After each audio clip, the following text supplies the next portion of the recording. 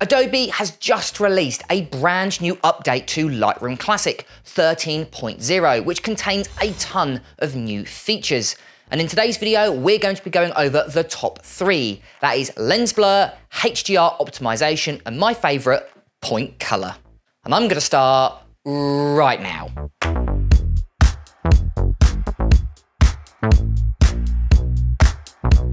So the biggest change in this update is called lens blur. And what you can do is basically create a shallow depth of field effect and you can also change the type of bokeh in your photo after you've taken it, which is really impressive. Now you can do this in Photoshop, but what's really nice about this new feature is firstly, it does it automatically, and it also creates a depth map, which you can then change and adjust. So let's go ahead and use this new feature. So before we go ahead and start using Lightroom Classic's brand new features, Firstly, you need to make sure you've got it up to date. To check what update you're on, all you'll need to do is go ahead, go up to where you can see it says Lightroom Classic in the top left hand corner, drop down to where you can see it says About Lightroom Classic, and as you can see, it says release 13.0. So make sure you've got 13.0 or newer to use all of these new features. And the first feature we're talking about is lens blur. So what you need to do, go over to the develop panel found on the top right hand side. And if you have a look at all of these toggles, you can see just underneath transform is a brand new slider called lens blur. Now, if we go ahead and open it up, you can see everything is grayed out apart from apply. So what we're gonna do is go ahead and click that like so. Now, depending on the speed of your computer will really determine how long this takes. I've got a really fast Mac Studio uh, M1 Ultra, so it does this in no time at all. But if you have got a slower computer, then you will find that it does take maybe several seconds or even up to a minute to apply this effect. And what it basically does, it creates a depth map and basically creates a shallow depth of field effect, which then you can adapt and change. So if we go ahead, what I recommend doing is going to Bokeh and clicking on this little arrow icon. It will drop down with a sub menu with a few more features. And then also I would click on here where it says visualize depth. I'd also have that as a drop down as well. So the first thing you've got is blur amount. It's fairly obvious. If you decrease that, it reduces the amount of blur. And if you increase it, increases the amount of blur. But what you've got is you've also got different types of bokeh and you've got five to choose from. So you've got one, two, you've got the third one here, fourth one, which actually I think is my favorite, and then you've got this cat's eyes one in the end. And you've also got a slider called Boost, which again kind of brightens and kind of changes the type of bokeh or the boost amount within inside your photo. Again, I would really experiment to see kind of what works for your specific photo, but I find 50, well, the average seems to work the best. Now, below that, you've got your focal range, and this is what I was talking about in a depth map. So, what it does is it works out what's really far away and what's really close to the subject, and kind of creates a depth accordingly. Again, creating like a depth map.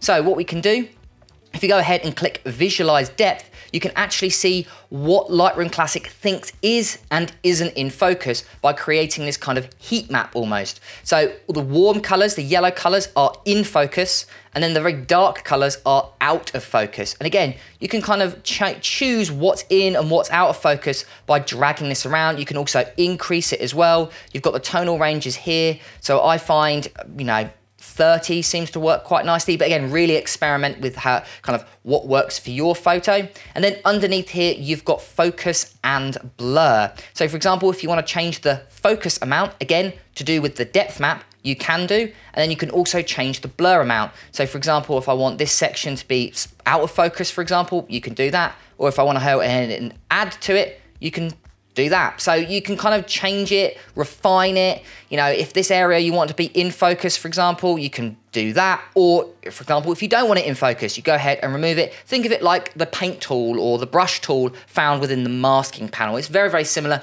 but you're controlling the amount of blur, not necessarily a mask at all. Now, obviously, if you want to kind of remove that, what you can do is just basically undo, because obviously a lot of that was mistakes, so not necessarily uh, want to do that. But again, what I would recommend doing is just really experimenting with all these tools, find out what works for you, find out what doesn't.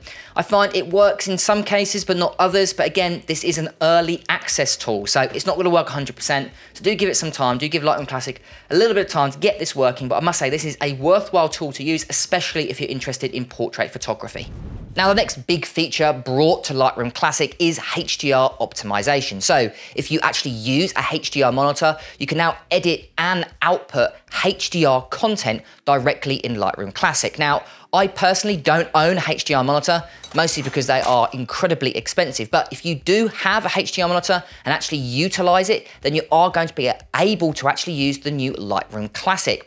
Basically, you can experience an increased depth and realism with brighter highlights, deeper shadows, and an improved tonal separation with more vivid colors. Again, you are going to need a HDR monitor to actually utilize this, but if you do, you can now edit and output HDR content, which I think is really impressive.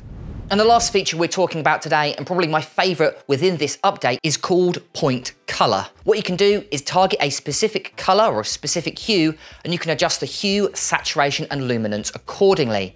Very similar to hue, saturation, and luminance sliders, but you've got a little bit more control over the entire process. So let's go ahead and utilize this new tool. Now to start using point color, it's actually very similar to using HSL. It's actually in a subcategory below that. So to start using it, all you'll need to do is go over to your Lightroom Classic, drop down to where you can see the develop panel, then you want to go to where it says color mixer. This is where your HSL used to be. Now if you go ahead and open it up, you can see they haven't changed or removed HSL. What they've done is they've actually just updated the UI a little bit. So instead of adjusting HSL, you can now go to color. So you've got these little icons here, which means you can change every single one, or you can have them all drop down at the same time. Or if you don't like that and you like the traditional look, then you've also got that there. So let's go ahead and talk about point color. Now point color is very similar to HSL color, but instead, instead of you selecting a band of color, you're selecting one particular hue. So Firstly, to select a color, what you'll need to do is go to this little eyedropper tool found on the left-hand side. Then you want to go is just hover over a color of your choice. I'm gonna go ahead and select the green of the leaves here. And once you've selected that, you can see it opens up with this color palette here with three sliders. You've got your hue shift, saturation shift, and luminance shift. Now, depending on how you like working, you can go ahead and drag this around if you like, or you can go ahead and use the sliders to give it a little bit more fine-tuned. So for example, let's say I want to warm this photo up by changing the leaves here to more of a golden color, more of an autumn color. Go ahead and take the hue slider here and drag it over to the left. And as you can see, we're not affecting any other color within the photo, we're just affecting that particular hue. So again, we can target it go ahead and move the saturation, maybe make it a little bit more saturated, maybe we make it a little bit more darker, you can make it a little bit more brighter, for example, and what it will do is it will show you the original color and then the color you have changed it to, which is really nice. Now, if you want to see what you've selected, you can go ahead and click this button here, which is called Visualize Range. What it will do is it will black and white everything apart from the color that you have selected. But what is if you want to increase the range of that? Like for example, over here, you can see we haven't selected all of the leaves. Well, if you go to the range here, you can increase that. And what this will do is it will increase the amount of a color that you have uh, selected basically. So you're increasing that tonal range. And you can see if you go to the drop down here, you can see exactly how it is split. So you've got your hue range, saturation range, and luminance range. So for example, if we want to target this green part here, what I would probably do is go to the range here and I would increase that like so. So we're basically targeting every part of that leaf. Now you might find that it doesn't target everything and that's just simply because you know the hue is so far away from the original color. But again, you can change that. You can see where it's kind of highlighting. Again, if you don't want that, you can turn off visualize range to see how well it is affecting. Now, obviously, this has gone a little bit too crazy. So what I'd probably do is just reduce that slightly and you can basically really target exactly what color you want. Now, this is obviously just some leaves, but it really works well with clothing, I find, because clothing is a little bit more of a consistent color than the leaves here. So what we're gonna do, go to this next photo here. Now, this is a lovely photo, but what I have found is the before and after, you can see that dress color, that blue, has basically completely gone with the preset that I've applied. So we can actually bring that back using point color. So what I'm gonna do is go to my eyedropper tool, go ahead and select the blue of the dress. Now what we can do is basically bring that blue back. Bring back some of that saturation, bring back some of that luminance here, and you can see we can really change it, which is really cool. And then obviously if you want to go to visualize color, we can see exactly what color we are targeting. So I think it's a really powerful tool. I think we're going to be able to do a lot with it.